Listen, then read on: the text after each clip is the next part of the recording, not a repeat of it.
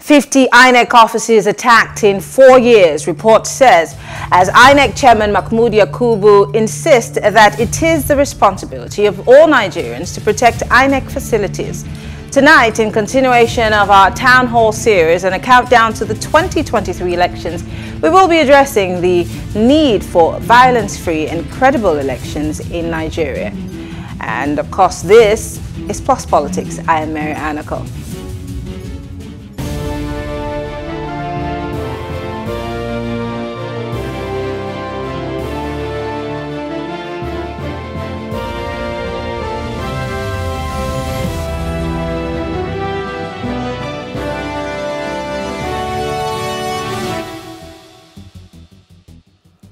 The Independent National Electoral Commission has so far recorded 50 attacks on its facilities across 15 states in the last four years. Imo had the highest number of attacks on INEC facilities with 11 incidents followed by Osun with 7, Akwa Ibom 5, Enugu 5 and Ebonyi State had 4, Cross River State also had 4 and Abia 4. Anambra had 2, Taraba 2, Borno 1, Ogun 1, Lagos 1, Bayelsa 1, Ondo 1 and Kaduna 1. Now, the breakdown has shown that in 2019, INEC recorded eight attacks 22 in 2020, 12 in 2021, and 8 in 2022. Now, with the recent attack, the Chairman Independent National Electoral Commission, Mahmood Yakubu, on Monday pleaded with Nigerians to see its facilities across the state as national assets. Yakubu pleaded, um, uh, well, this plea came following the seventh attack on INEC facilities in five states in the Federation in the last four months. Now, well, joining us to discuss this is Adenike Aloba. She's the Program Director, Dataphyte. We're also being joined by Obo Effanga. He is the INEC Resident Electoral Commissioner in Edo State. Ufuoma Egbamuno is a journalist and he's the head of news with Cool Wazobia Info, while Achike Chude joining us is a public affairs analyst. Thank you so much, lady and gentlemen, for joining us. It's a full house. Thank you for having us. Thank you all for joining us. I'm going to start with you, Mr. Fanga, because INEC is on the front burner tonight. Uh, with these attacks directly on INEC officials, Nigerians are worried. Many who are still waiting to get their PVCs are asking a lot of questions. Um, the issue of, um, you know, their PVCs being, harvested, or data from their PVCs being harvested. And those who probably may, may, may have lost their PVCs in those fire attacks are wondering, will we be able uh, to be part of this election. But let's start with um, how INEC is going to recover from these attacks. Okay, thank you very much. Yes, uh, just like uh, your background reporters uh, said, it's sad that um, we're having attacks on INEC facilities across the country, and uh, you've given the reports of how many we've had um, in the few months and going close to the election, uh, it's uh, worrisome that this is happening. But INEC is doing the much it can in terms of uh, recovery uh, of the materials that are needed for the election. Some of the materials that have been destroyed are such that we can easily uh, uh, procure or new ones, including the permanent voters cards if there are some that have been destroyed INEC is able to produce new ones uh, to give to the owners uh, to vote in the election. But importantly, we need to do everything to ensure that there is a stop uh, to this uh, uh, situation that is happening because um, nobody, this is not going to go well for the entire country. It's not just um, INEC, it's INEC facilities that are being attacked, but the effects of it is on the entire country. And the election is very important in the uh, to the country, and we need to have the elections in 2023 uh, because the tenures of office of um, various office holders will come to an end, and you'll have to have elections for the successors in office to be elected. So it's something of concern to INEC, and I'm sure that uh, every Nigerian is also concerned about this. But INEC is doing the much it can to ensure that um, um, even when this uh, uh, uh, this violence has happened, we are able to recover in terms of uh, uh, getting new materials for the conduct of the election. It's an expensive thing to do, but it's something that we must do if the election is going to go on. Many have queried the fact that if these things had happened in previous years, knowing that there is a tendency of it repeating itself, um, they're wondering why INEC had not necessarily thought of securing these offices where these very sensitive materials, especially PVCs, that are very, you know, everybody wants their PVC right now. It's more like the most sought after thing in Nigeria now. Um, many are wondering why these places are not as protected as Fort Knox or even the CBN. well, the duty of securing public as, uh, assets is not that of INEC it's that of the security agencies. So uh, we are working with them. They know that INEC is um, a national asset, the facilities that must be protected. So the issue actually should be what have they done so far and what needs to be done uh, more uh, to ensure that um, this doesn't happen. It's not um, INEC on its part. Um, we've done what we have to do. And when you talk about um, uh, the, the the, the permanent voters cards, which is the, uh, a much sought after item. There's no other way we can do than to have the permanent voters cards in the INEC offices where the owners are coming to pick them up. Mm. There's no other place we can keep them. If we decide to keep them in very secure places, how would people collect them anyway? Because people are coming to collect them every day. And so they must be in INEC offices. And then the INEC offices need to be secured. And um, in across the country, we are working with the uh, security agencies. And um, after the more recent attacks, we've had more security uh, officials as uh, posted to the various INEC offices, both at the state level and at the local government uh, offices to mm. secure the places uh, at all times. I'm going to come back to you, but let me come to uh, Achike. Uh, we're talking violence-free elections, so violence is on the table. We're seeing violence. We've seen violence before, during, and after elections. It's been a recurring factor in our elections in the country. But 2023 being a, an election that many have touted to be a game changer or make it or mar, you know, election. Um, what should be done in terms of rhetorics to address this issue of violence? Because you see, at the core of this violence has to be something that is being said or done. And what do you think keeps, you know, fueling this fire? What would make a Nigerian who's asking for change, who wants a change of you know leadership, who wants good governance, to go to a, an INEC office and destroy it? What would be at the core of that? Uh, these are people are asking questions of the Nigerian state. They are not only asking questions; they are testing the will of the Nigerian state, hmm. and uh, they have seen that, um, and they have shown capacity to test the will of the state. And the state has not been able to sufficiently push back. The Nigerian state is weak today. It cannot defend itself, neither can it defend its citizens. Um, a state has a lot of power. You know, and, and, but unfortunately, you know, the fact that this is now happening at will is an indication that certain people are already aware that we can push the limits and that the state will not be able to push back sufficiently. So they're having a field day. They cause this mayhem and this destruction and nothing happens. They are not arrested. If they are arrested, the ringleaders, because there must be, they did not send themselves. They are acting out a script. Nobody knows. Now you could say at the initial stage because we have had we've been embroiled in violence for quite some time now mm -hmm. over 12 years mm -hmm. boko haram joined by bandits unknown gunmen and all kinds of non-state actors causing you know acts of destabilization in the country mm.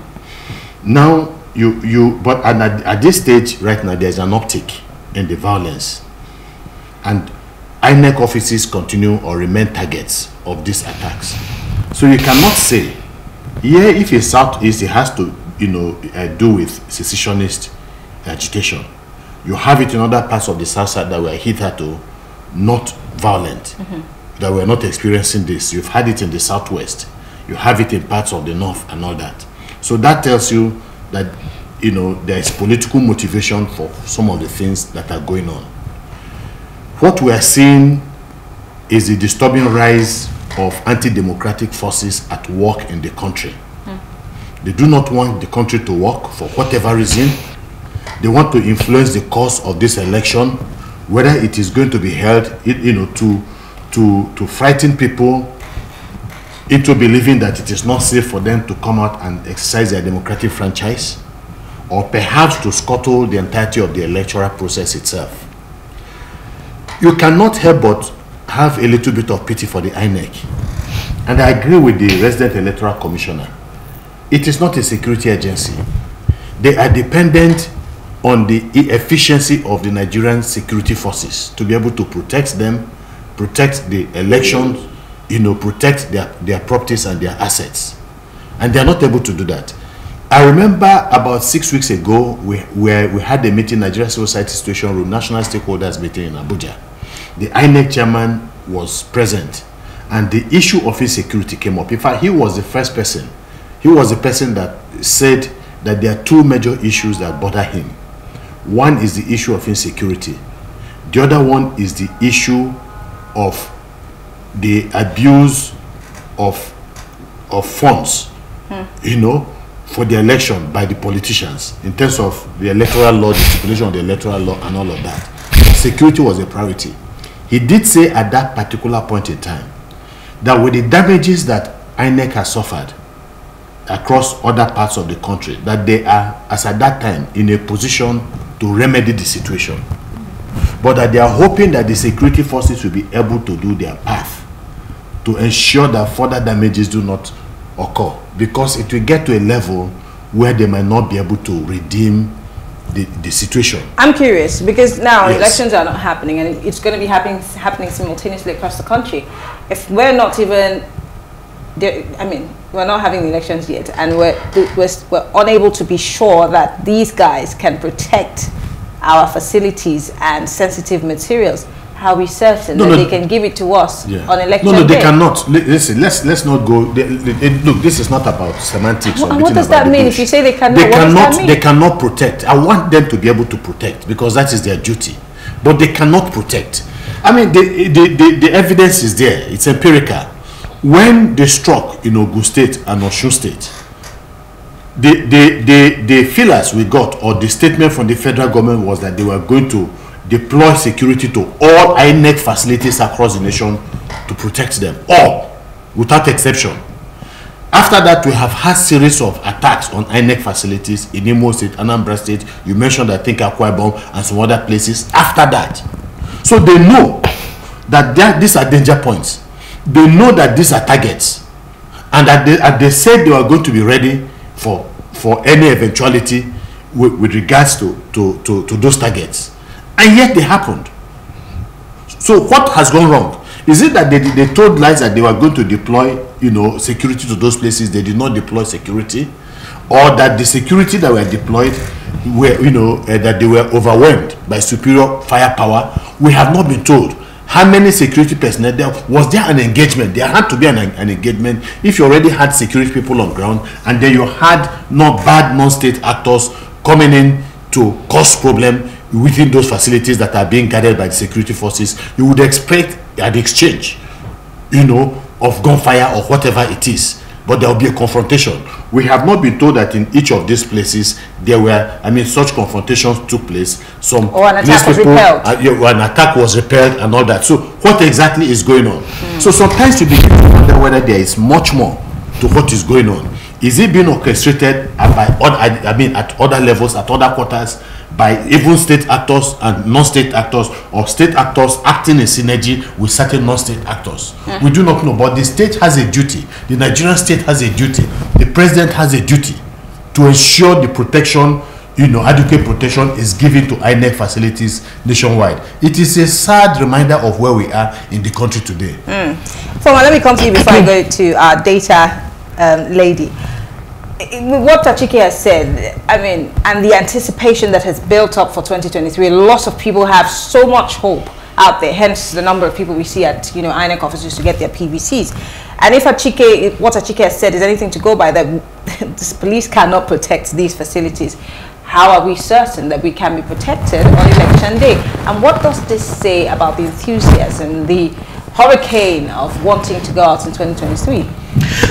excuse me. So, so the honest truth um, for me is that elections will hold on February the 25th, and they will hold successfully in a large um, percentage of areas across the country. Um, this, what's happening now is not new.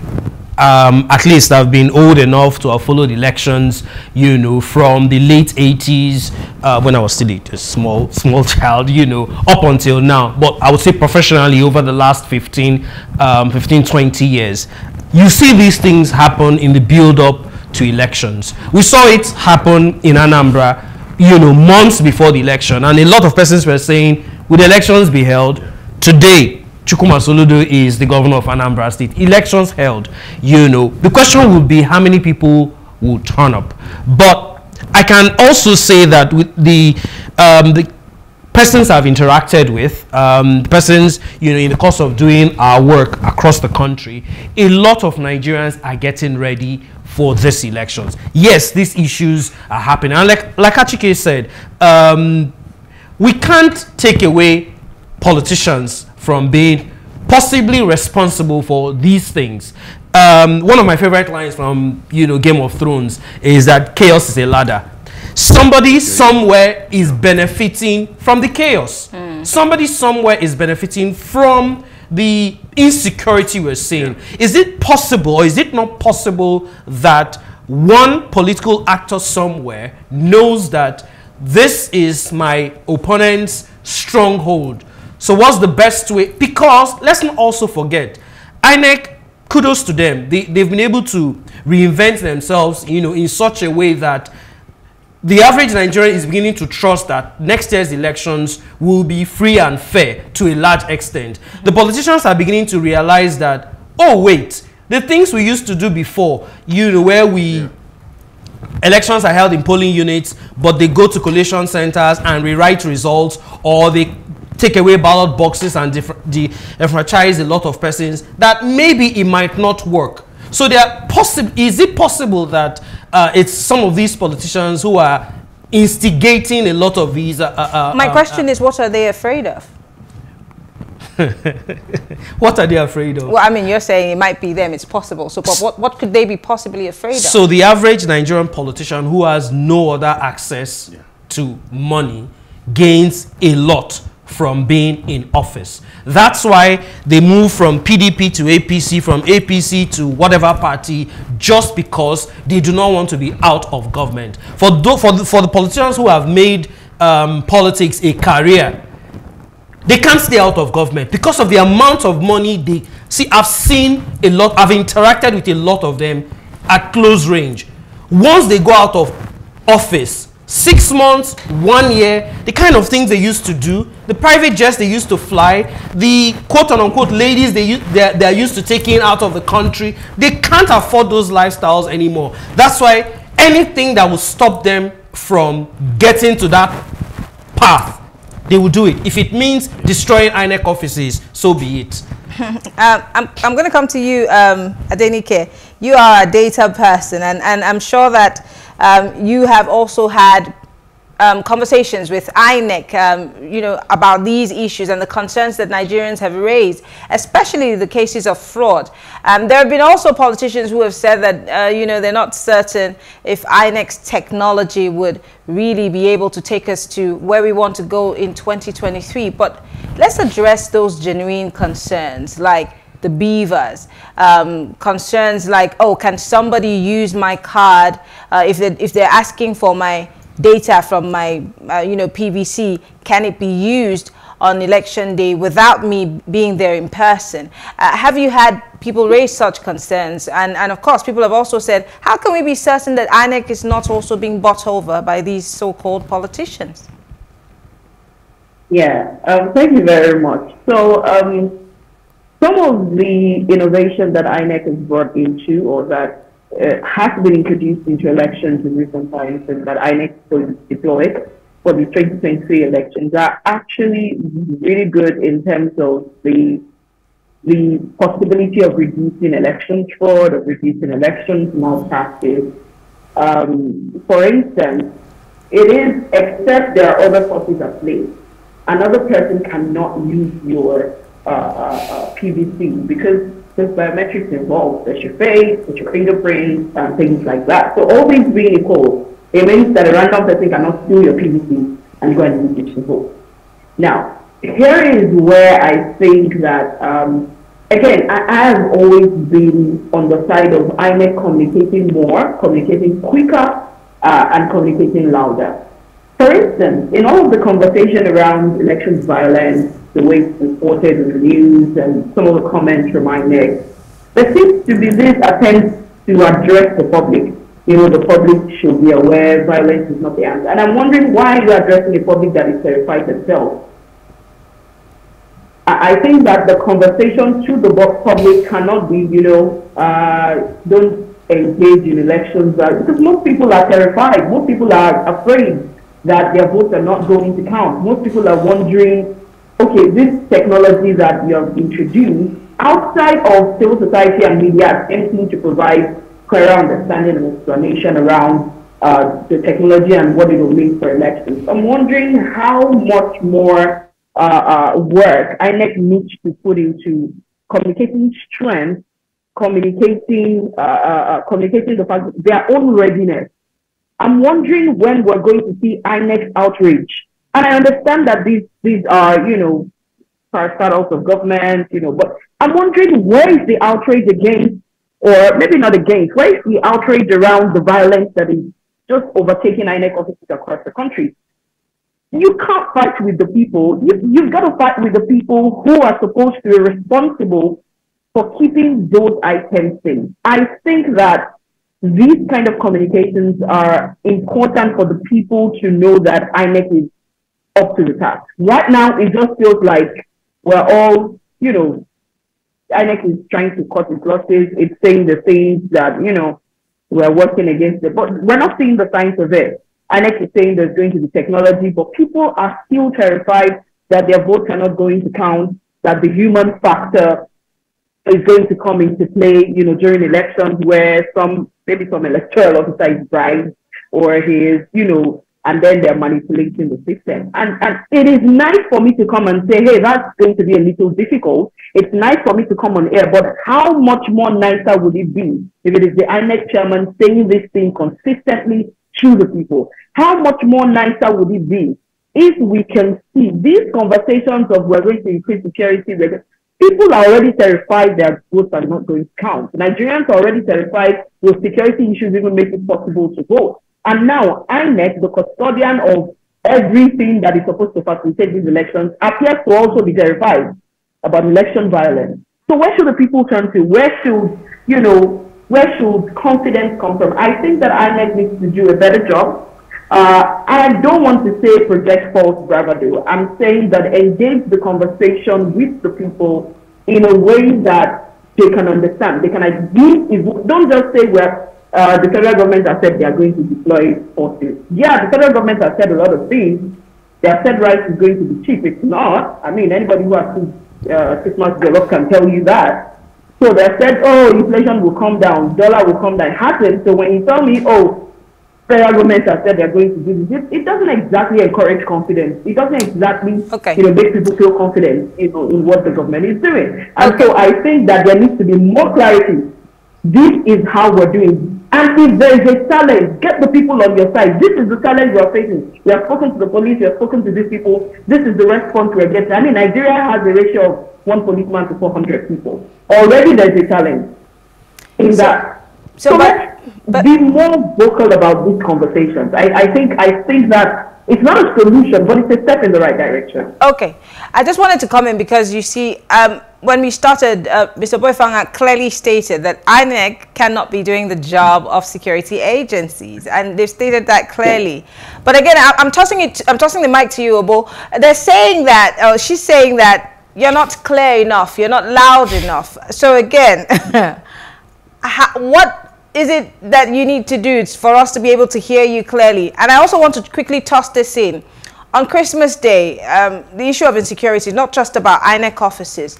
There are people who are also afraid uh, of what's happening in their area. In Kaduna State, people were killed. While those people were being buried, another attack happened. In those areas, um, how is INEC supposed to tell them that um, everything's going to be all right and we're going to have elections? How does that work?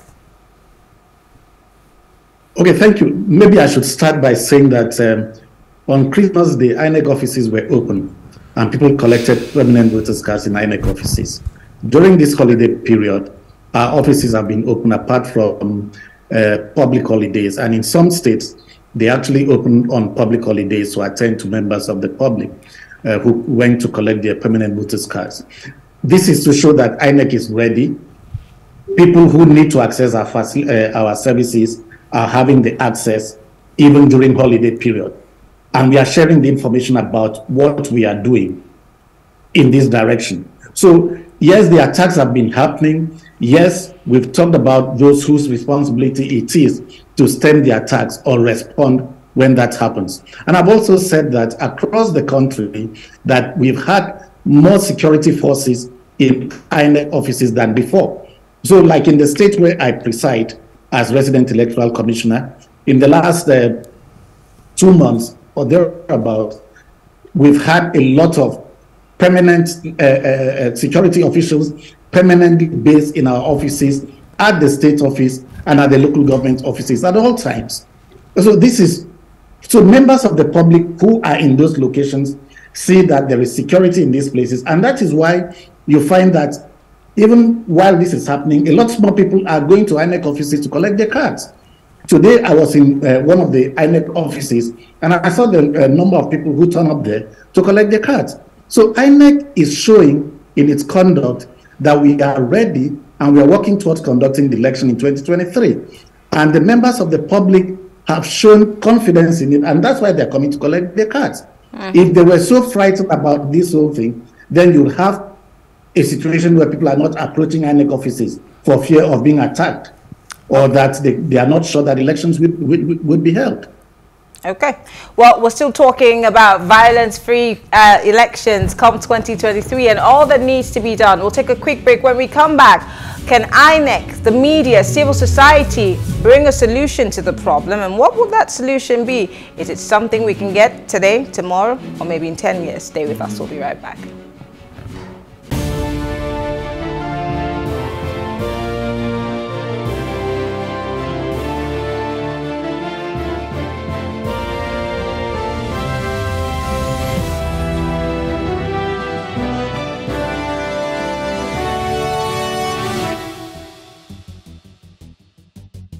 It's still plus politics and we're discussing how we can achieve free, fair, credible elections and of course without violence, even though violence has been a major issue uh, in the election um, electoral process in Nigeria. And still in the studio with me, I have Adenike Aloba, Program Director, Dataphyte, Obuefanga, INEC President, Electoral Commissioner for Edo State, Ufuoma Egbamuno, a journalist with Cool Wazobia Info, and Achike Chude, who is a public affairs analyst. Achike, I'm going to come to you now with the issue of what can be done. We've talked about all the problems, not even enough of, of, of, the problems, but then we need to seek out solutions. Yes, we have, like I said, a tsunami, people are changing.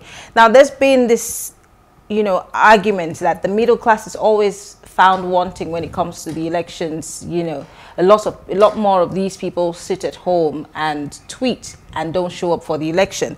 Um, we've also complained about the statistics. We, we have so many people who register for the elections, but then very few of them show up to the elections. How do we change that, you know, scenario? Uh, is, is there going to be a change for the better? Uh, with what we're seeing now. Don't forget, we've talked about all the insecurity and all the problems that Nigeria is facing, including the fact that we have nothing close to good governance. Well, if you want to go by the classical or classical definition of a middle class, we don't have a middle class in Nigeria. Not anymore. That, that has disappeared, you know. Eroded. Uh, over, absolutely, completely. Except you are looking at uh, you are looking at it from the perspective of people who are fairly educated.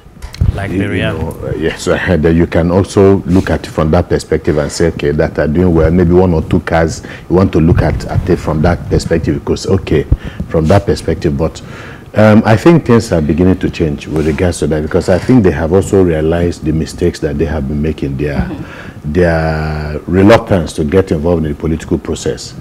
Under normal circumstances, it is not the very rich that drive people for political to ensure political change, you know, or social change, it is the middle class, because they are the ones that are most affected, either positively or negatively, mm. when things go wrong. Mm. The rich or the very rich or the super rich are there, and nothing really affects them so much, you know. So you find out that uh, in order to protect that class, uh, they, they, you know, they, they agitate. They are the ones that tend to influence people that are of the lower rung, you know, to get them to move towards a particular course of political action for the good of everybody. Mm -hmm. uh, you know, so um, if we look at it from that perspective, you realize that we are beginning to have a change of mindset.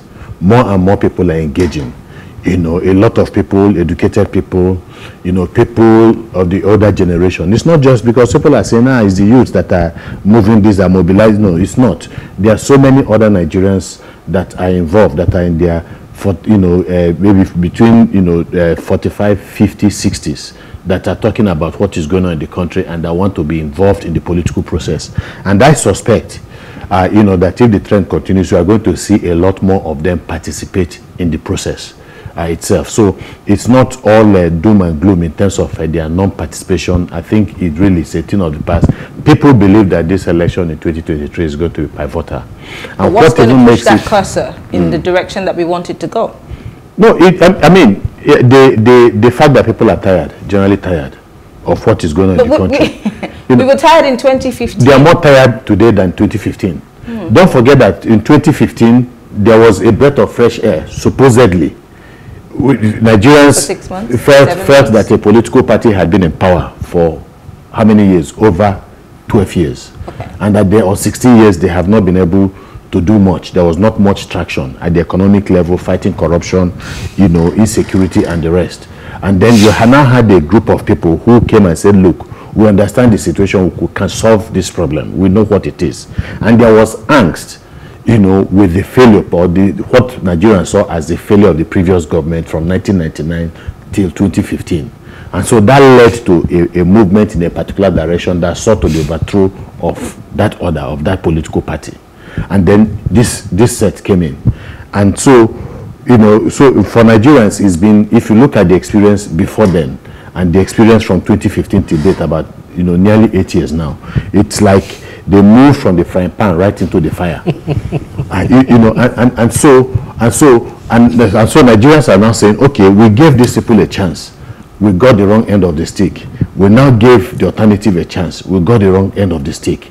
And it is the reason why you now have, for the very first time, you know, for quite some time now in contemporary Nigerian political history, you now have a third party mm. that has made some sufficient waves you know, and occupied some space in the country, whether we like it or not. So it is an unprecedented situation that rather than the, the normal political parties, we have always we have been used to the APC, the PDP. You now have another. So that gives a little bit of hope to people that perhaps we might be able to do something. Now you can see that the other parties are also worried you know, because down there they realize that they have also missed the mark somewhere. Mm. So it's not so, if, if you say yes, uh, yeah, Nigerians have, have found themselves in this situation, but the degrees have always been different. Mm. Where we find, I mean, you, the, in 2015 you talked about, you, you can, empirically, a bag of rice in 2015 was selling for how much? Today, a bag of rice selling for around 40, for something 36,000. Uh, you know, um, a, a, a, liter of fuel was selling for how much? How much is it selling uh, today? What what is this uh, uh, foreign exchange?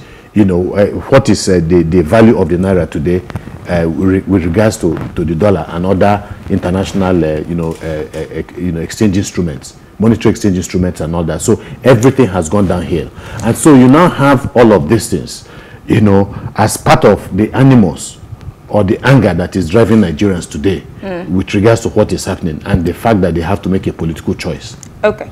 Uh, I'm going to talk about the media here, which includes me.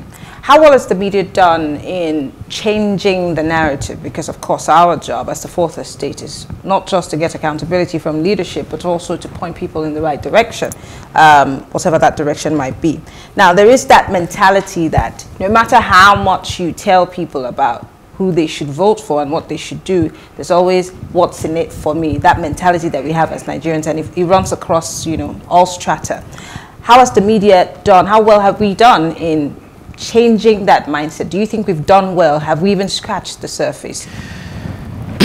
Without um, trying to, you know, um, pat myself or my colleagues in, in the back, I would say to a large extent, um, with the kind of confinement we found ourselves, you know, with with some strict regulations, you know, uh, seen and unseen, you know, that we have um, had to deal with, at least, let me speak for the last seven and a half years or thereabout.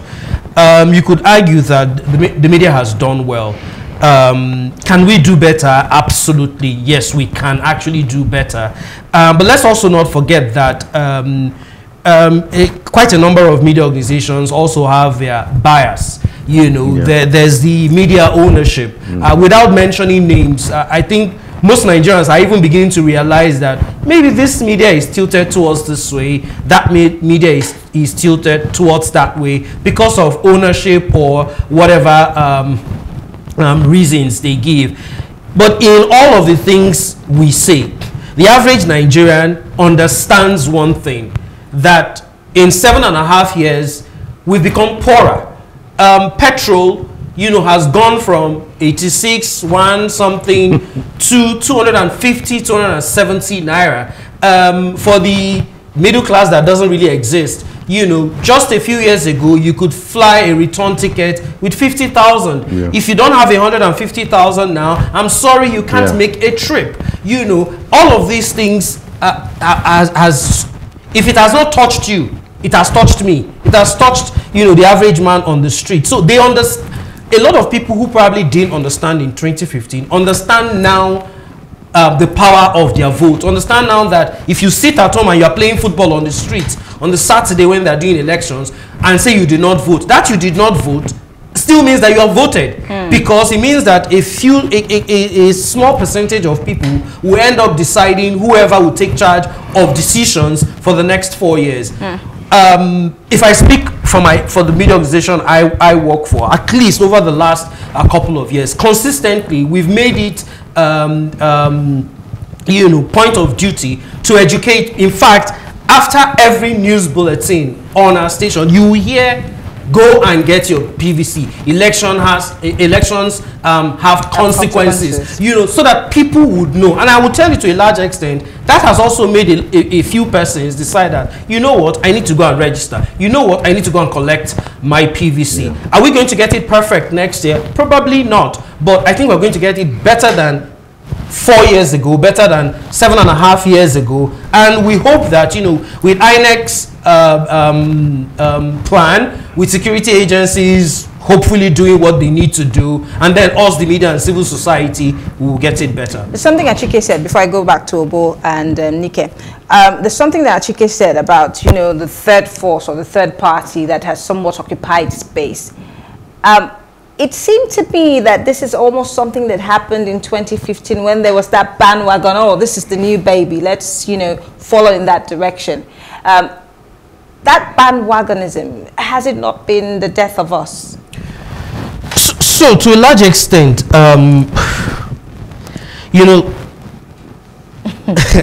see, the one thing I know for sure is that there's none of the traditional parties, the party in power and the main opposition party, who can beat their chest right now and say, come February 25th, we are going to win this election.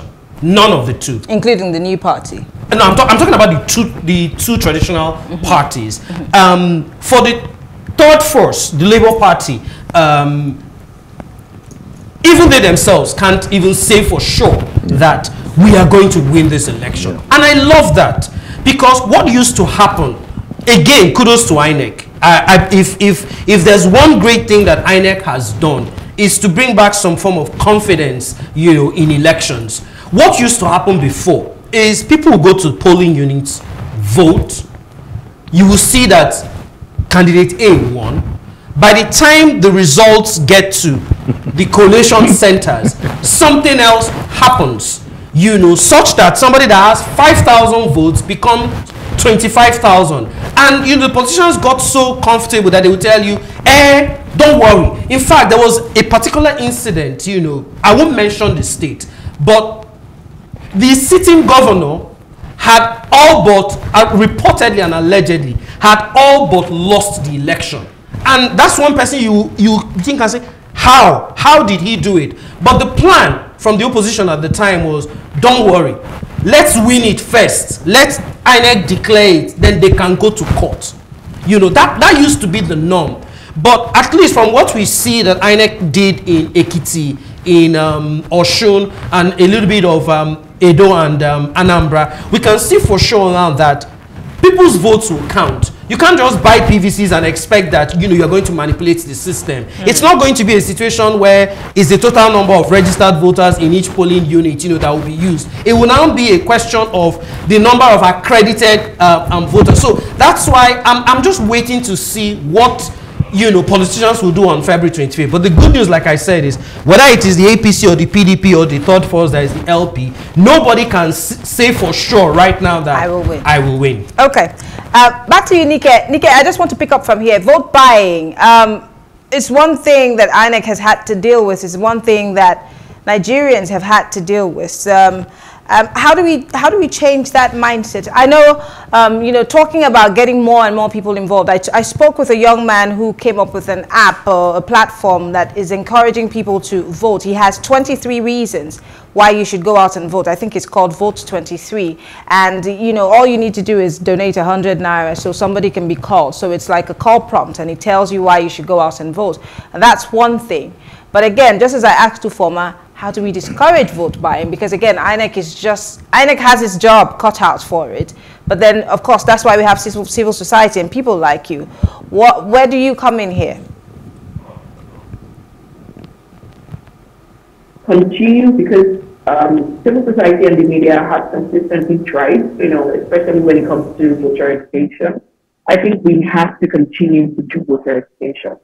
I worry that a number of the political programs on TV kind of focus on politicking rather than programmatic issues of elections, like, you know, core issues of education, of health. You know, sometimes one of the conversation is between this party and that party and that conversation and that and the other one. I think we, we can improve. You take the conversation in the direction of what matters you consistent, and by you I mean us, uh, consistently speak about the things that matter, consistently encourage people. Because again, if all you see around you is coke, coke, coke, coke, coke, you're unlikely to ask for Fanta when it's time to take a drink. And so if everything, if all the conversations we're having is, oh, this party, the intrigues of, you know, political parties and all the drama happening in political parties, and we're not having the conversations about the key issues of development, then we're, even though we're telling people to vote, we're not telling them what to vote on. We're not telling them the things that should influence their decision. I think this is the uh, next step that we need to do as civil society, as media, to say, focus on programmatic issues. To Let the conversation focus around what do we want to see in education? What do we want to see in health? So when you're going to vote, don't, it's interesting how a lot of Nigerian politics, I mean, I know politics is a personality business really, but we need to find a way to make it about issues. We and we have that responsibility because whether we like it or not, media, we're still shaping narratives. We're yeah, but, but you tell me, you tell so me about all of these issues, better. and at the end of the day, I'm saying, I'm hungry. What are you going to give me? I've I heard all that. your beautiful so, ideas. I've heard everything. yes, we want Nigeria to change, but I need money. Yes. So honestly, I, I, I understand. I don't know where I was having this conversation and saying Nigerians are traumatized by the problems that they face. So it's not enough to simply. Don't sell your vote because of 2,000 naira.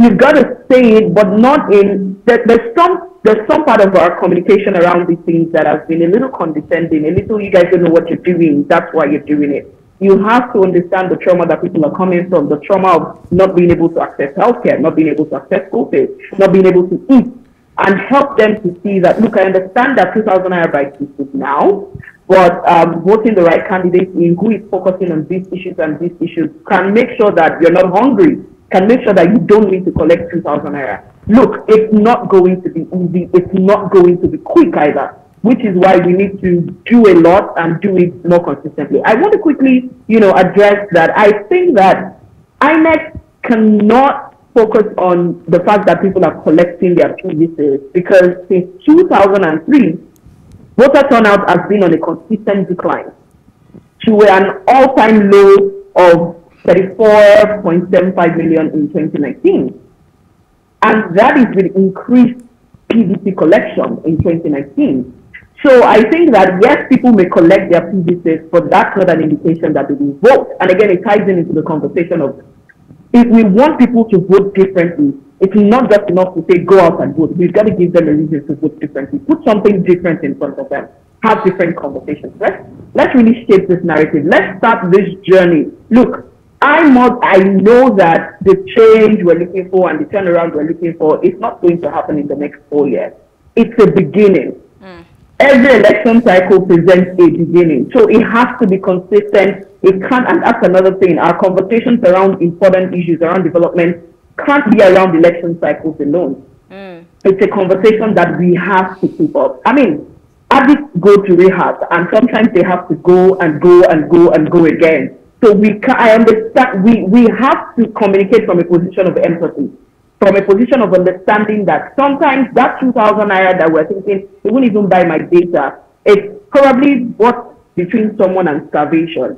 Mm. So if someone is facing starvation and you're trying to tell that person 2,000 naira is not the answer to your problem, how would you communicate it? If if you know what hunger feels like, if you know what deprivation feels like, how would you communicate it? And I think this kind of thought, this kind of deliberateness in shaping narratives and focusing conversation not on what's happening between the political parties and which cross carpeting and not. They're interesting, they give us the clicks, but we need to focus conversation on this is where we need education to be, this is where we need healthcare to be. And don't just talk in, you know, esoteric terms where people cannot relate with it. What does it mean for my five year old who can only attend public school. What does the next election mean for me as a petty trader who has just a small store in front of my in front of my in front of my house? Hmm. It's in both sense that we have to communicate. GDP figures are all well and good when we're having those conversations here. Uh, a lot of people don't understand GDP, they don't understand some of the metrics that we, you know, talk about. And I, I can say that because I'm constantly faced with data and answering the question of how do we communicate this in a way people understand is critical. And so we can't just say go and vote. We also can't just say vote because you know we want education to be better, we want the budget for education to be above 15%. It makes mm. no sense to Mama It makes mm. no sense to Bola. It makes no sense to Sidima, who doesn't understand. He didn't even know that there was a declaration that says that you know there should be 15% dedicated to education in, in a country's budget. So what? How would I communicate to Bola in a way that she understands that oh, this really concerns me. How do I communicate to pregnant women who have no access to maternal and child health care in primary health care centers to let them know that the decision you're about to make in two months is going to affect whether or not your next child is going to be born okay. in your house or whether or not you're going to have to take a three-hour uh, uh, uh cab ride to access health care, or whether or not you're going to have to carry your own water to the PhD to give birth. Mm. So I think that communicating in terms of what people can understand, what people can identify with, and that's why it's critical that we work collaboratively. National collaborating with subnational. I, I'm speaking here, but somebody in Okene, for instance, may not be connected to this program right now. So how do I empower the radio station in Okene? How do I empower the radio station okay. in okay. in in in, in the Kodo in Ogun State, for instance, okay. so that the same communication and lessons are going on? Yeah. All right. Uh, finally, back to you, uh, Obafang. I, I feel like INEC has a big, big, big big job to do. And the last time I spoke with Mr. Okoye, I, I, I, asked that question because you see, I understand that political parties also have a job when it comes to voter education, being that these are the people who are asking for votes. But we never really see that happen. And Achike mentioned something about, you know, political parties being responsible and party financing and all of these things. But we don't see political parties engaging in voter education. What we see is jamborees and campaigns and parties and musicians performing as opposed to telling people what to do. So even sometimes people don't even know what political party to vote for at the end of the day. How much voter education is out there aside from, you know, just having a voter education wing in INEC? Well, voter education uh, involves uh, various stakeholders what your station is doing is also voter education. The civil society groups do um, is also voter education, and of course, what INEC does.